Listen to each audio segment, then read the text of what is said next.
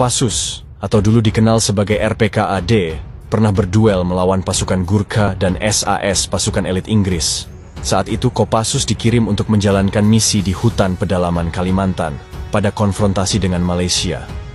Tugas utama Kopassus adalah untuk melakukan operasi militer terhadap pasukan Malaysia dan sekutunya, terutama pasukan Gurkha dan SAS dari Inggris, mengganggu dan menghentikan rencana pembentukan Federasi Malaysia yang dianggap sebagai bentuk neokolonialisme Inggris oleh Indonesia.